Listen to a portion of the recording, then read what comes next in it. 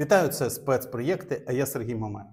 Поговорили з паном Євгеном Диком про величезну проблему з мобілізацією в Україні і чи правда, що можуть мобілізовувати навіть жінок, про вибори в Сполучених Штатах і допомогу від американців, чи є там якась залежність від цього.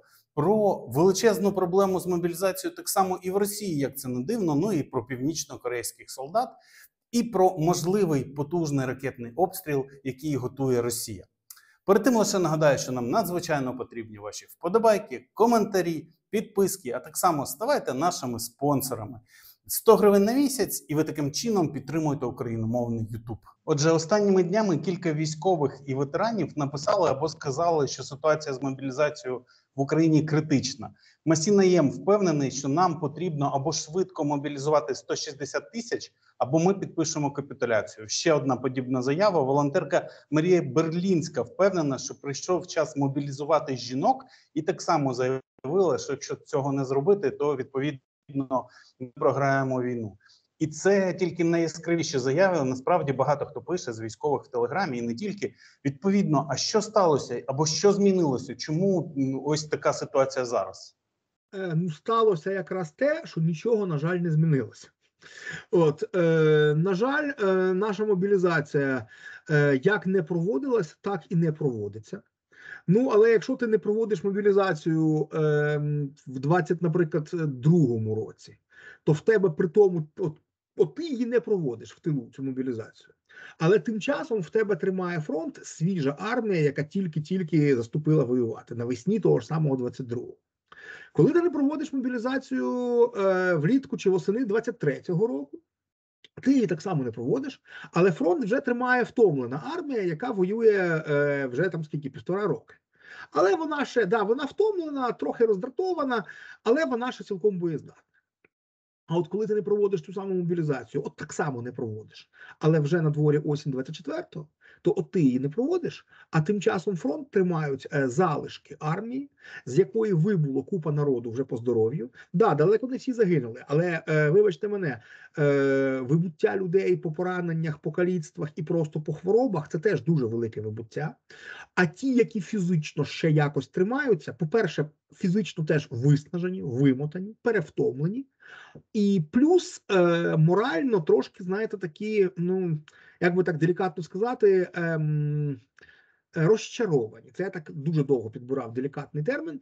От е, щоб е, сформулювати те, що відчуває людина, яка е, два з половиною роки тому пішла захищати інших людей. От прийшла не тому, що вона була якимось суперменом порівняно з ними. Ця людина не мала ні кращої фізичної підготовки, ні кращого там якогось там досвіду, професійних якихось військових скілів. Вона була таким же цивільним, як е, ті, що лишились в тилу. Але просто це в цієї людини вперше вистачило рішучості, вистачило такого, знаєте, елементарного розуміння, що коли ворог прийшов до тебе додому вбивати, ну треба йти на зустріч. Так, от. Два з половиною роки тому ти зробив такий насправді простий, очевидний вибір, пішов когось захищати, і сподівався, що за якийсь час тебе може посилять, а потім може ще й замінять. А замість цього ти бачиш, що тебе просто списали. Замість цього ти бачиш, що от тебе туди відправили, відправили назавжди. От треба воювати 10 років, значить воюй 10 років. Ти ж тоді пішов. От і е, ніхто не збирається йти на заміну. Навпаки, от поки ти вчишся, як тобі виживати на фронті і як вбивати ворога, а інші вчаться, е, як ховатись від ТЦК або навіть як бити ТЦКшників, от е, і так далі, і так далі.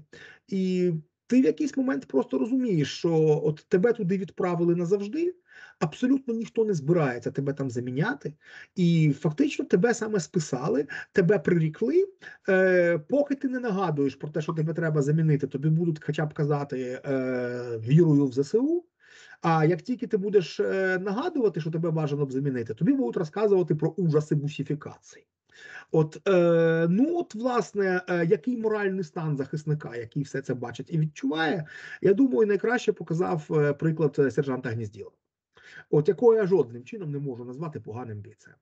І якраз коли хороші бійці вже доходять до того, що е, зробити саме демонстративно е, СЗЧ, от для того, щоб привернути увагу до проблеми, ну то це означає, що проблема вже не просто назріла, а перезріла. Е, повернемося до тих да, то наша, наша, наша армія перевиснажена. Е, при тому, я ж кажу, тут одночасно фізична втома, е, моральна втома і зневіра в нас з вами, тобто в тил, образа на абсолютно скотське ставлення, як ми з вами в тилу поставились до наших захисників. От і м, на цьому фоні е, ще й просто банально не вистачає фізично людей. Фронт зараз ну він ще не розсипався. Ми це з вами бачимо. Але ми бачимо, що він прогинається чим далі, тим швидше. Ми бачимо, що ну чесно кажучи, вже досить часто відступ стає непідготованим, а хаотичним. Е, просування орків за останній час більше ніж за попередній рік. І а чому ж це так? А може, зокрема, тому що е, ми наразі набираємо новобранців в півтора рази менше, аніж за цей самий час наші санітарні втрати. Ну, щоб знову ж таки, щоб нас не перекрутили. Санітарні втрати це і 200, і 300, і хворі. Але, але до речі, без врахування СЗЧ. Це ще без врахування СЗЧ, без врахування тих, хто просто вже морально не витримав, сказав, а просто да йдіть ви. Я, чесно кажучи, зараз знаю деякі просто ну. Кричучі приклади, коли мені з танкової бригади там да, да, поки по секрету, але кажуть, що слухай, тому я не називаю номер. Але е, кажуть, що от в нас тут тільки що один танковий екіпаж, а це чотири людини, бо це вже одна з західних моделей танка. От е, вони починали на радянських танках в 22-му році. Вони кілька разів горіли в різних танках, їм давали нові. Чим далі, тим досконаліше. От і це тривало два з половиною роки. От нещодавно вони свій танк пригнали в частину, почистили, акуратно задраїли люки, і всім екіпажам сказали: а нас задрало, ідіть. Пояснили, куди розвернулися і пішли в СЗЧ. Ну е, чесно кажучи, це передостання стадія. Остання стадія, коли почнуть іти в заче на своїх танках. От, е, от цього ще не траплялось, але це ну достатньо логічний наступний, скажімо так, крок. Так, от, е, власне, от коли отаке відбувається, я ж кажу, ми набираємо це, то СЗЧ ми винесли з дужки. Якщо брати тільки голі санітарні втрати, вони в півтора рази більше, аніж за цей самий час е, приток новобранців. Притом під новобранців на, на, на увазі і бусифікованих мобілізованих, і добровольців рекрутів разом. От їх разом в півтора рази менше ніж втрати. Тобто армія просто тане на очах, вона фізично зменшується. І тому да, е, ну, ці крики душі, які зараз з'являються, ну вони абсолютно не перебільшені. Інша річ, що я б дуже чітко розділив все ж таки ці дві заяви: от е, Масіна Єма і е, Марії Берлінської. От е, е, на мою думку, заява Берлінської, чесно кажучи, більш емоціональна ніж раціональна. От е, я не бачу жодного раціонального сенсу в мобілізації зараз жінок. Більш того, я шкоди від цього бачу. Якби раптом таке рішення дійсно проговорювалось, то я категорично виступав би проти. Я вважаю, що шкоди від цього рішення е, набагато більше ніж користі. Е, ті жінки, які е, добровільно хочуть вступити на службу, вони зараз мають таку можливість, і дуже багато дівчат таку можливість дійсно реалізували. Але це йдеться про добровільно на контракт.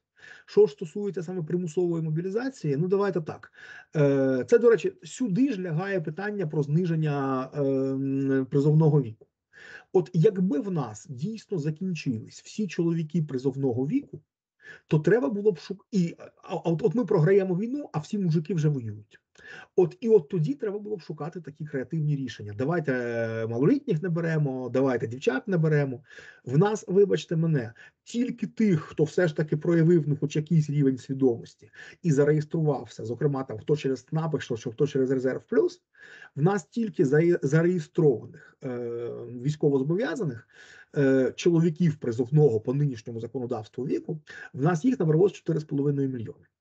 Да, із них частина непридатні, із них частина заброньовані, але все одно мінімум від 2 до 3 мільйонів саме от е, тих, хто підлягає мобілізації в рамках чинного законодавства. Це можна два рази, як мінімум, повністю замінити весь нинішній склад ЗСУ. То питання: якщо ми не вибрали цей резерв, чому раптом шукати якісь дивні рішення, мобілізовувати жінок та 18-літніх? От нащо це просто? В нас в першу чергу не воює якраз найбільш потенційно боєздатна категорія. От в нас в армії найважче знайти мужика рочків 30-35. В нас наразі переважно воюють мужики от мого покоління і навіть старше. Тобто це 50 плюс, а то й 55 плюс. І це абсолютно нездорово, е, тому що з одного боку, я розумію, що наше покоління, оці, як там співав то їхній півець ртом, рожденний в СССР. Я розумію, що ми рожденні в СССР, ми виховані саме з дитинства на тому, що в разі чого чоловік має брати до рук зброю. От е, ми, ми психологічно готові. Але вибачте, крім психології, є фізіологія. Є 50 плюс літнє тіло, е, яке ну в принципі не сильно придатне для тих фізнавантажень, власне, які є там на фронті. От е, в когось воно просто одразу от, от ламається, в когось якийсь час витримує, але зношується вкрай швидко. А протилежна крайність 18-20-річні. Знову ж таки, серед них є чудові винятки, серед них є добровольці, які в 18 одразу йдуть е, добровільно служити, і така можливість є. Але якби ми брали, скажімо, середній зріз, ну то нинішні 18-літні це швидше все ж таки підлітки, аніж дорослі мужики. Ну от так вже склалось, так ми їх виховали. От відповідно, як колишній ротний командир, я б дуже не хотів ввести в бій дитячий садок. От тим більше примусово мобілізований дитячий садок. От ідеальний солдат це 30-річний мужик. Ну от 25-40, от медіана 30-35 – це людина, яка вже доросла психологічно, але в якої ще молоде здорове тіло. Оце найкращий солдат, але саме їх в армії найменше. От саме вони в нас найбільше, е, власне, серед них найбільше ухилянтів, серед них найбільше заброньованих, серед них до біса студентів і аспірантів раптом. От ем, трошки не по віку, скажімо так часто. От е, і оце власне той резерв, який ми не вибрали абсолютно. От давайте ми спершу зробимо так, щоб служили е, 30-40-річні мужики, і от раптом би їх не вистачило, тоді б думали про е, дів, дівчат та малолеток. От, але е, до цього ще дуже далеко. Я ж кажу, тільки зареєстрованих е, наразі військовозобов'язаних вистачає на те, щоб двічі оновити склад ЗСУ. Ну, просто треба це зробити. От, тому заяву заяву Марії я вважаю все ж таки, я ж кажу, не раціональною, а емоціональною. А от звідки в неї ці емоції, я чудово розумію. От емоції насправді абсолютно природні, я б сказав. А що стосується заяви Масіма Єма, то я з ним не згодний тільки з терміном в два місяці. Він там чітко каже, що або ми прямо зараз проводимо мобілізацію, або через два місяці підписуємо капітуляцію. Ну я трошки більший оптиміст. Я швидше в цьому сенсі згодний з Гнізділовим, який вважає, що остаточно наша армія без заміни обвалиться навесні. От е, Масій каже два місяці, тобто до нового року. Е, Гнізділов каже про весну. Ну, чесно, різниця ж невелика. От, от моя оцінка по-любому лягає десь в межах цього діапазону. Тобто, е, я абсолютно згодний з е, Наємом, що е, якщо ми в принципі не е, от. До речі, я погодився, що якби ми в най... якщо ми в найближчі пару, я б сформулював, от от я б сформулював десь так: що якщо ми в найближчі два місяці не вирішимо питання мобілізації, то не пізніше весни нас чекає капітуляція. От десь плюс-мінус так. От і е, це в даному разі вже абсолютно не страшилки. Ми в е, найгіршому військовому становищі з весни 22-го року. Я знаєте, що не можу зрозуміти. Буквально перед нашою розмовою я прочитав Ігаля е, Левіна, ізраїльського військового експерта, який в курсі і щодо того, що відбувається в Україні. Він пише, пише дуже розумні речі. Я не розумію, чому Україна і досі не стала військовим лагером. Хоча це не моя справа. Ну справді це не справа ізраїльтян. З іншого боку, те, що ви розповідаєте, ну якщо подумати з точки зору менеджмента, не складна історія. Да? Якщо є масив даних, то можна відповідно е, формувати призив з тих, ну мобілізацію з тих, хто потрібен. І це чого чи на якому рівні це треба вирішити? На рівні президента, на рівні генштаба, Е, Верховної на Ради для початку. Ключова ланка Верховна Рада. Вона має забезпечити правильну законодавчу рамку для цього. А далі вже низка суто управлінських рішень, технічних рішень це частково Кабмін, частково ГШ.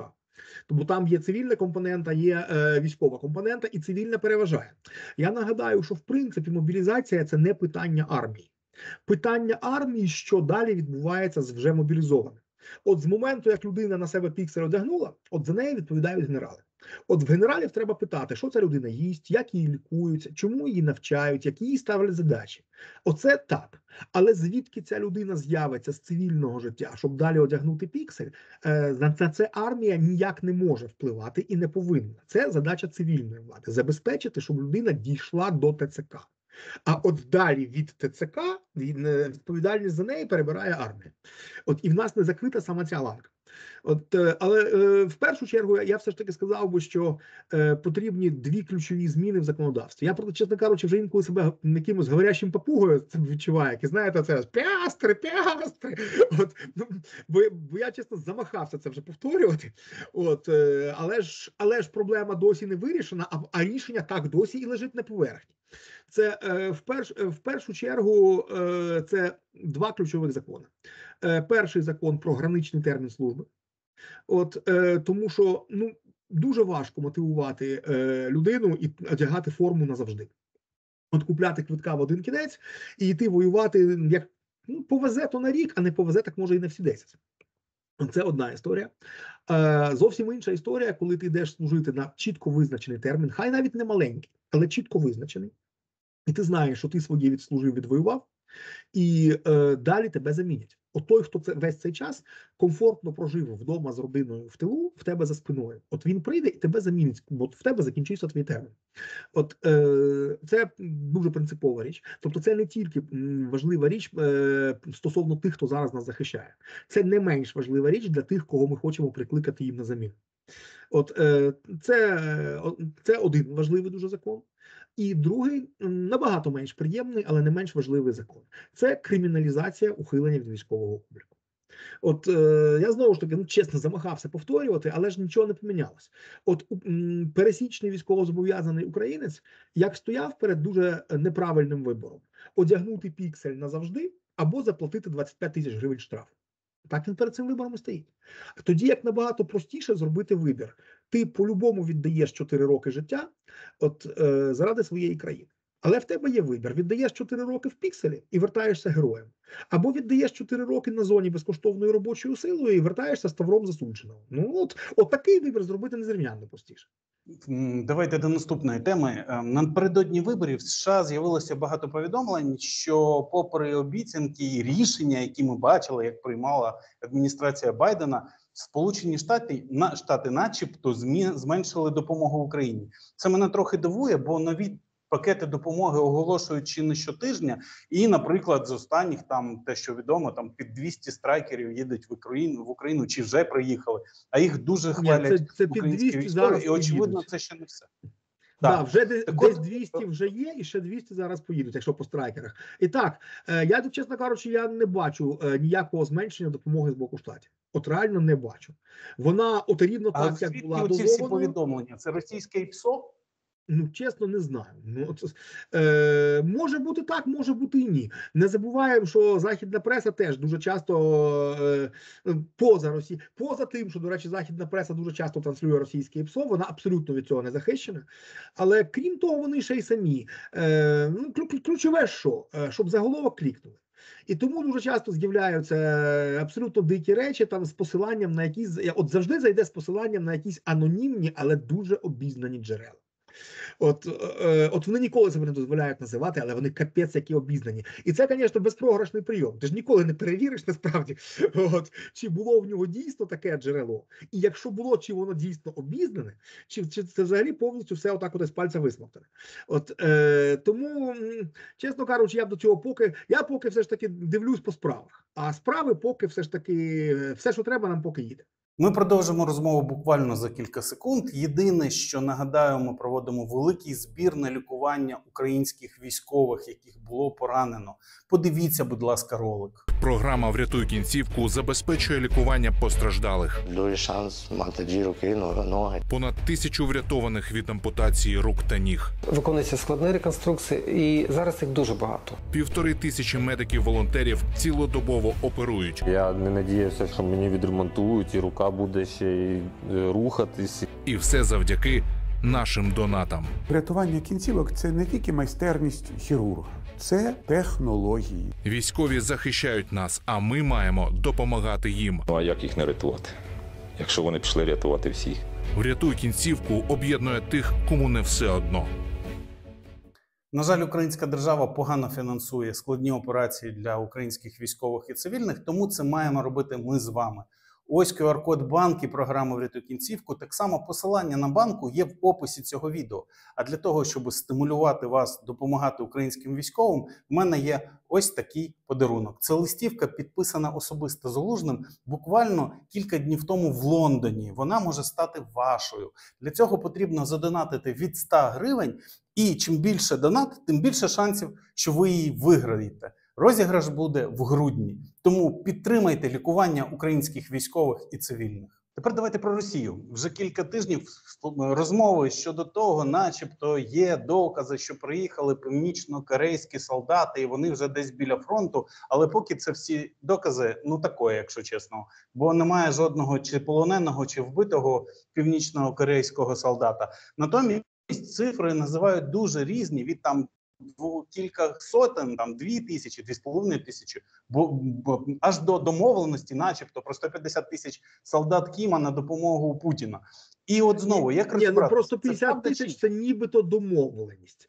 Е, з приводу тих, що вже на території Рашки, наскільки я знаю, максимальна поки цифра озвучувалась 12 тисяч. Ну е, не так, як там сказати, не все так однозначно.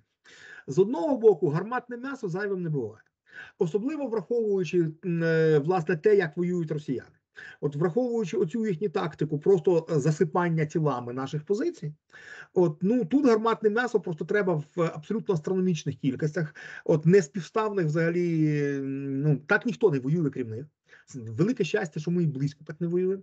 Але ну, ну а західні армії взагалі на це дивляться і просто ну вони просто в шоці. Е, скажу, що тільки от за останній рік Рашка просунулася на Донбасі на 38 кілометрів. Що ми вважаємо насправді багато. Але, але це 38 кілометрів. Так от, за ці 38 кілометрів вони поклали ну приблизно кількість кількох європейських армій разом взятих. От, ну ні, ні, ні, ні- ніхто, ніхто власне так не воює, крім них, а вони навпаки інакше не вміють. Тому в цьому сенсі, звичайно, е, от при, е, при такому методі ведення війни їм просто треба неміряна кількість гарматного м'яса. І навіть якщо це буде, оце як там знаєте, те, собачатина е, п'ятої категорії, от яка йде на фарш разом з будкою, от то все одно влаштовує. Е, І в цьому сенсі, якщо корейсь, корейців буде 12 тисяч, як каже південно-корейська розвідка, от про вже прибулих, от або 11, як каже Буданов. До речі, тут дуже схожі цифри. От е, це нічого, це погоду не зробить. Це е, навіть якби вони виявилися ідеальними бійцями, про що ми зараз окремо поговоримо, то все одно це, це суттєво в межах якогось одного невеликого напрямку. Е, Для фронту в 1600 кілометрів це ні про що. А от якщо вже приїде 150 тисяч, то це вже дійсно серйозно. От ми он, е, он Масій казав, е, ми сьогодні тільки що цитували, що от нам зараз мінімальна рятівна кількість це 160 тисяч набрати, і ми це і, і ми абсолютно поки з цією задачею не справляємося. Ми навіть близько до цього зараз не близькі. А тут опа, під ключ готових е, 150 тисяч дисциплінованих, вже вже в підрозділах, сформованих, злагоджених. Ну це реально такий е, жирний підгон. От е, питання, якими бійцями вони виявляться. До речі, моє припущення. Ну підкреслюю припущення. В мене немає е, інсайдерів ні в Кремлі, ні в там як там називається палац Іна. От, але припущення таке, що дійсно може їх там бути 1012 зараз, і що це типа пробничок саме. От подивляться зараз, як вони себе покажуть на цій війні, і в залежності від цього їх буде ще 150 тисяч або не буде. І ем, які аргументи на користь того, що вони дійсно можуть себе добре показати? Е, вони дуже невибагливі. От наш клімат для них геть норм. Е, Це, до речі, різко відрізняє їх від тих е, екзотів, яких до того пробувала використовувати Росія. Росія ж там набирала всяку екзотику, там по типу індусів, непальців, там, там африканців. Ну вони навіть просто від нашого клімата практично всі одразу хворіли. Ну а, а в цих боях взагалі вибували буквально миттєво. А от з корейцями саме так не буде. Клімат їм геть ок, якраз дуже м'якенький порівняно з їхнім рідним.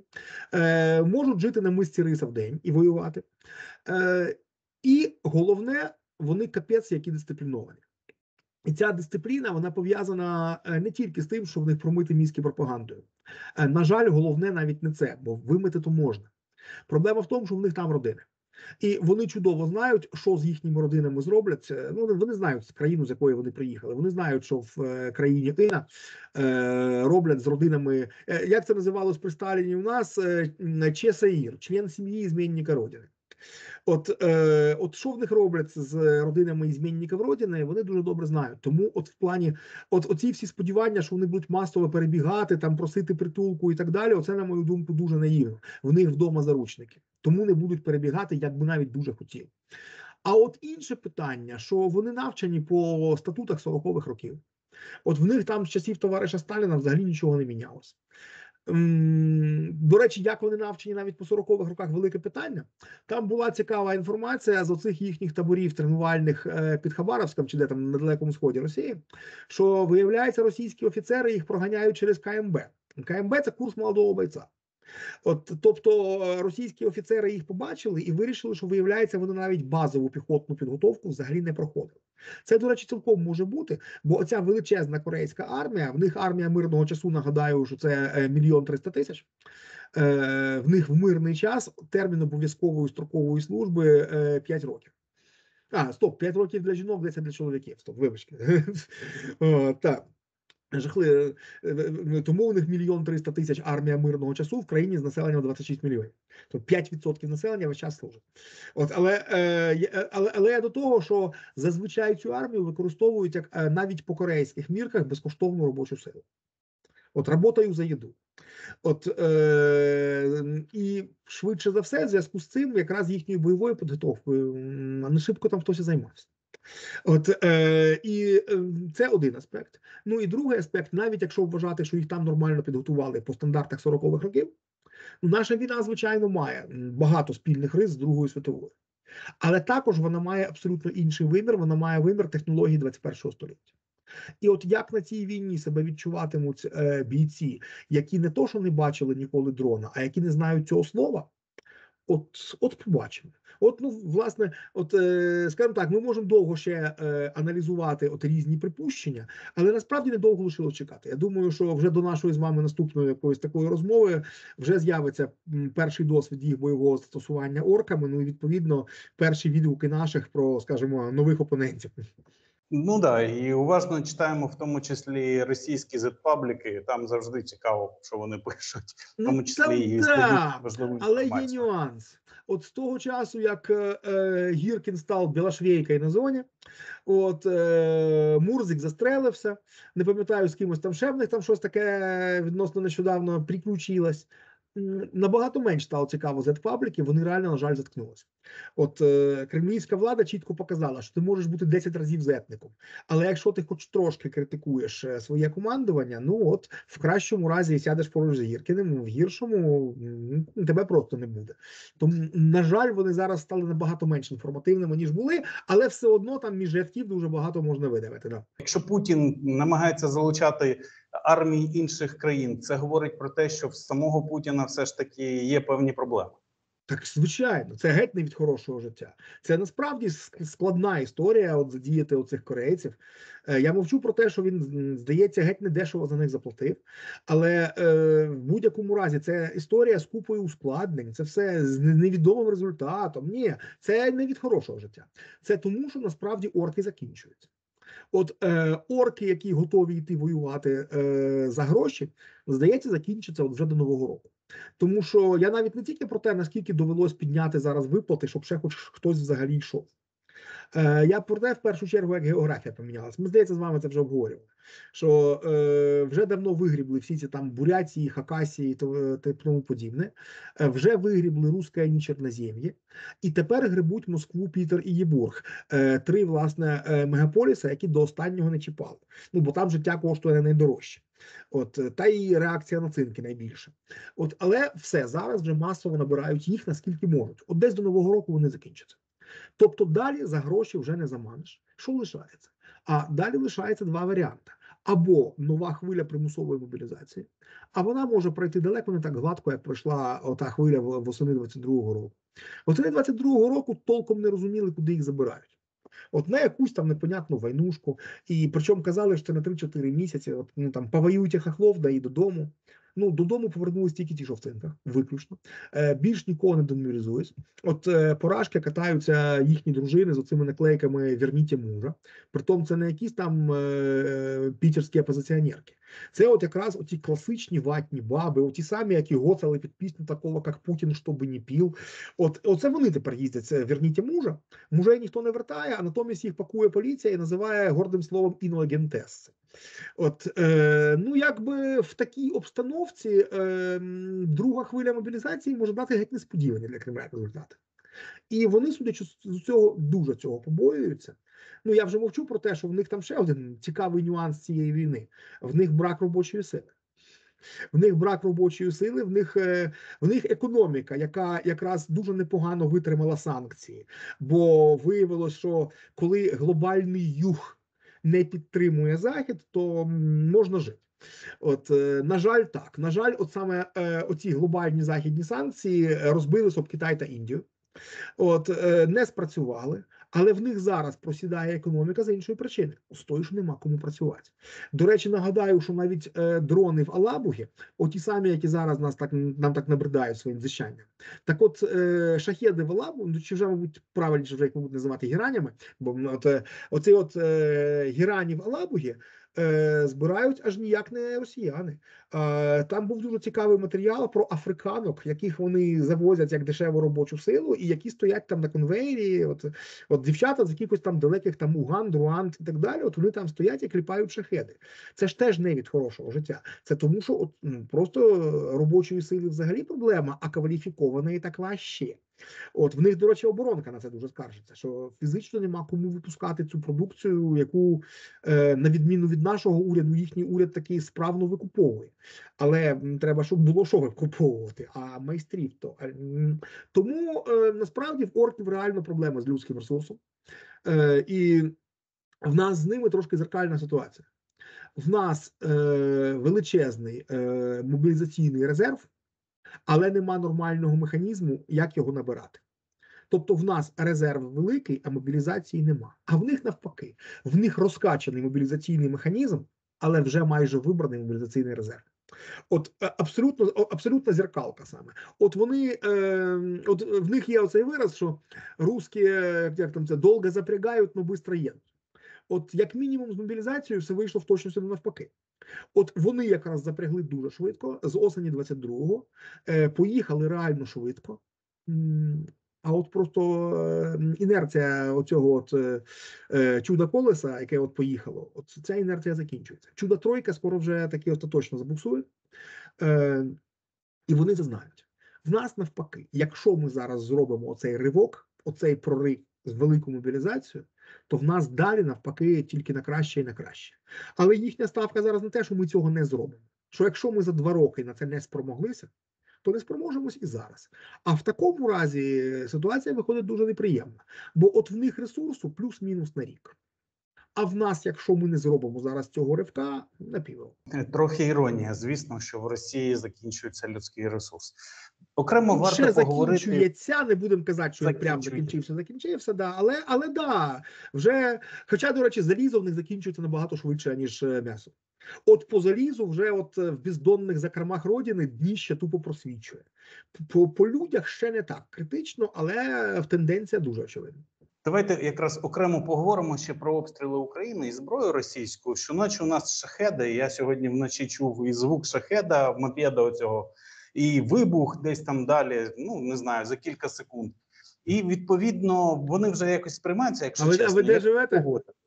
А Оболонь, оболонь. Ага. І Да. відповідно, Я, да. на, я на Подолі, то, то я сьогодні не чув. А в суботу зранку, да, я від нього прокинувся. Прямо над дахом гад був, і прямо в сусідньому дворі його пробували збивати. До речі, на жаль, не збили, він, він далі полетів. Я, до речі, не виключаю, що це якраз от, от той, що в результаті е, до- до- долетів до Кімо.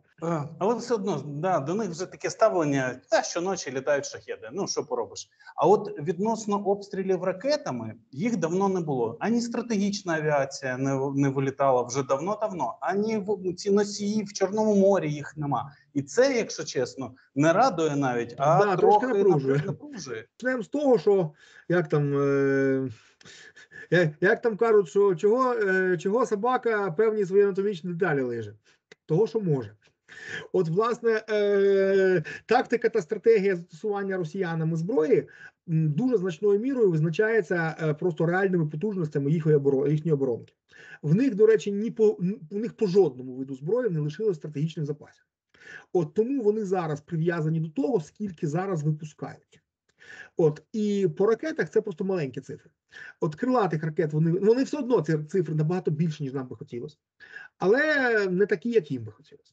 Е, По крилатих ракетах це десь 30-35 одиниць на місяць, от всіх типів крилатих. А по балістиці це взагалі порядка 10 одиниць на місяць. От е, І в цій ситуації, ну що, витрачати їх отак, от одна балістична раз на три дні, і там е, скільки виходить по одній крилатці на день. Ну ясно, що це ми перехопимо 100%. Просто це ми просто все будемо збивати. От е, тому що вони роблять? От по шахедах в них, е, на жаль, зовсім інша ситуація. От тут в них відбувся технологічний прорив у цій самій Алабузі. Вони їх реально кліпають дуже багато. Причому поняття дуже багато. Ну, як мінімум, вони точно вийшли на свої планові показники 600 на місяць, а швидше за все, вони їх зараз вже перевищили. От швидше за все, зараз вже йдеться, що ну щось порядка тисячі на місяць. От е, і ем, е, відповідно, що вони роблять? Вони весь час, е, можна сказати, задирають наше ППО от оцими е, геранями. Плюс вони ще й спеціально саме для переобтяження герані там мають конкретні цілі. Тобто і вони виснажують ППО, але коли ж долітає, воно кудись летить. Так?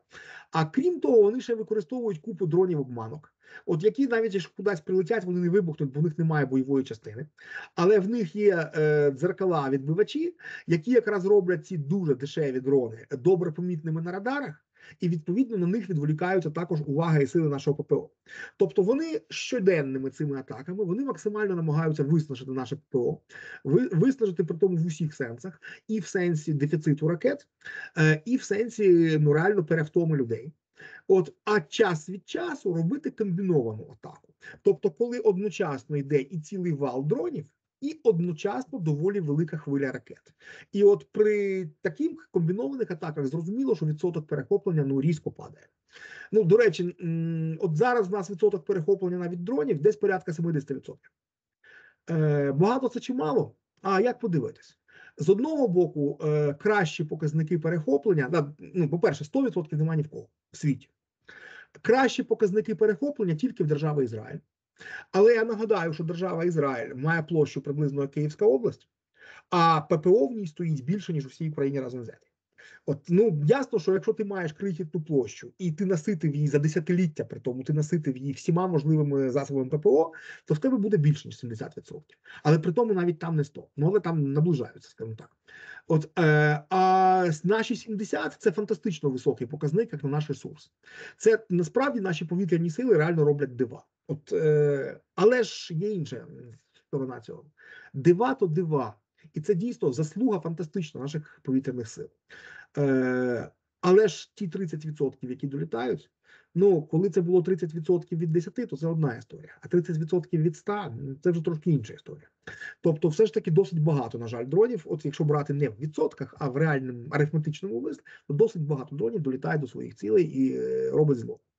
От е, нам треба з цим щось додатково робити. А при тому е, ресурсу щось додатково робити в нас не сильно є. От е, зараз, до речі, я бачу дві прямо протилежні е, тенденції. Причому прямо наскільки мені відомо, це дві протилежні навіть команди. Це от це вже знаєте, е, це вже нагадує трохи шизофренію. Знаєте, коли одна півкуля мозку дає одні команди, а друга іншу. А це вже нагадує саме шизофренію, якщо чесно. Е, Я рідко критикую дії саме військового командування. Я не вважаю себе для цього достатньо компетентним.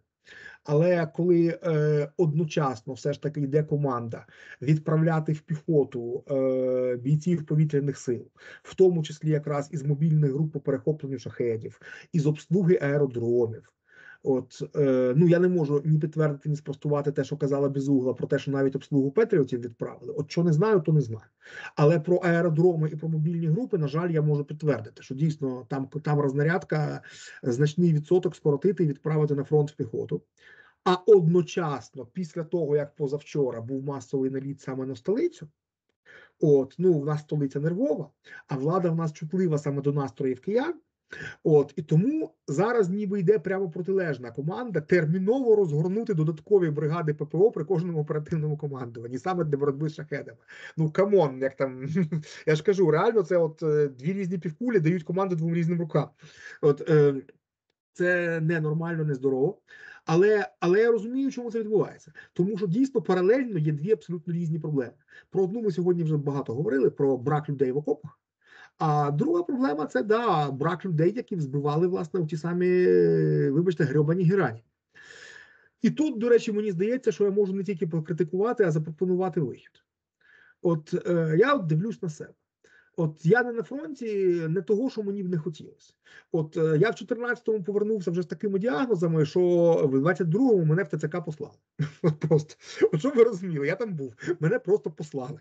Я в 22-му далі ДФТГшки е, нікуди не міг потрапити, бо ДФТГшка це була єдина така форма тероборони, де можна було просто зробити вигляд, що ти десь просвистів свій воєнник, от і тебе нічого не питали, показав паспорт на автомат. От.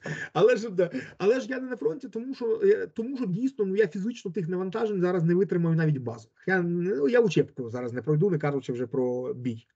А от сидіти в пікапі і наводити кулемет я абсолютно здатний. Ну, ну стріляти то я не розучився. Я бігати не можу, я важке носити не можу. А сидіти і наводити кулемета я елементарно можу.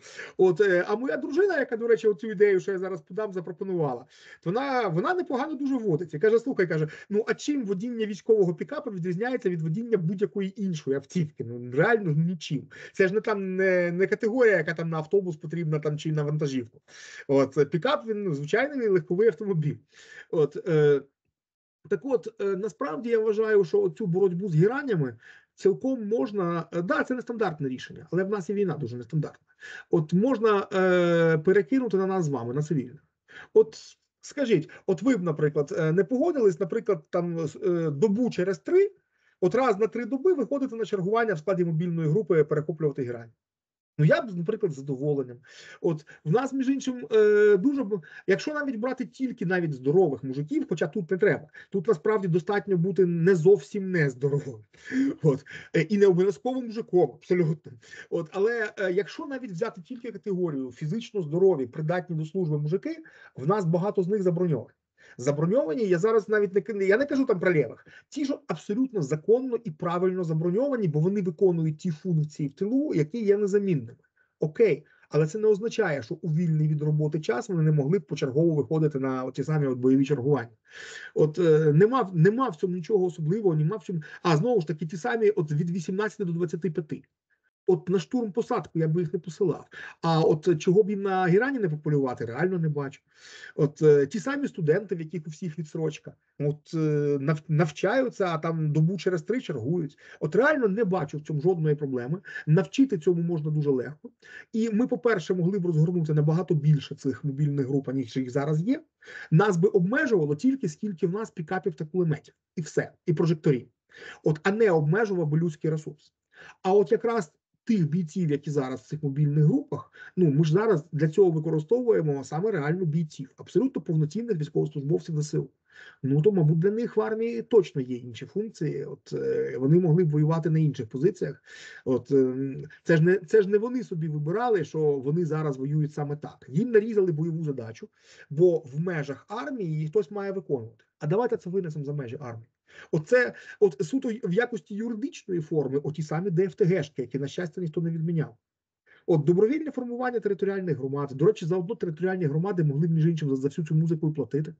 Як на те вже пішло, давайте ще й бюджет армії від цього розвантажимо.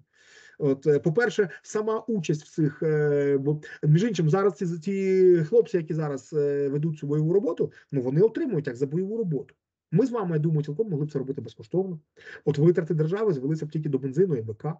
От, е, а оці бензин і БК цілком могли б утримувати саме місцеві громади та ті підприємства, які найчастіше стають жертвами атак. Той самий ДТЕК, я думаю, цілком міг би такі речі утримувати. От, от е, не розорився б пан Ахметов. Тому мені здається, що давайте пропонувати таке рішення, тому що от в нас попереду дуже важка зима. Давайте шукати всі варіанти, як ми цивільні можемо частину цього тягаря війни все таки зняти з наших захисників і взяти на себе. Ну, це абсолютно розумне, розумна пропозиція. Дійсно, я думаю, що багато хто там добу через три там взагалі без проблем можна було б. Ем, і це прекрасна мотивація, в тому числі і громадам навколо і Києву з його прекрасним бюджетом, який ми міг би замість ремонтів доріг е, купувати оці самі пікапи, ставити на них кулемети і відповідно збивати шахеди в передмісті Києва. Це було прекрасно, все працювало. Я повністю з вами погоджуюсь. І давайте на ще одну тему. Е, Мені здається, що найскладніше у нас попереду через те, що буде дуже складний період в світі. Це між виборами в Сполучених Штатах, які ось, і відповідно інаугурацією, яка в січні. І оці три місяці: листопад, грудень і січень, може статися щось більше, ніж ми маємо зараз. Воно е, буде погано, я так думаю, не тільки для України, а й для Ізраїлю, в яких купа ворогів, і мають навіть може для Південної Кореї, оскільки оце міжвладдя в Сполучених Штатах, особливо ось в цей цикл, воно дуже дуже стрьомно, скажімо чесно. Як ви думаєте, може це щось перерости в щось більше в повноцінну там третю світову з кількома фронтами по всьому світу?